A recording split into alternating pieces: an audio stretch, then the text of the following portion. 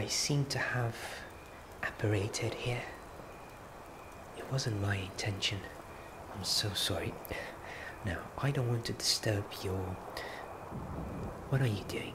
Are you studying? Focusing? Just relaxing? Trying to sleep? Well, I have to say that this seems like the perfect place for this. Yes. Well, I wish you good luck and lots of coziness and relaxation. Okay?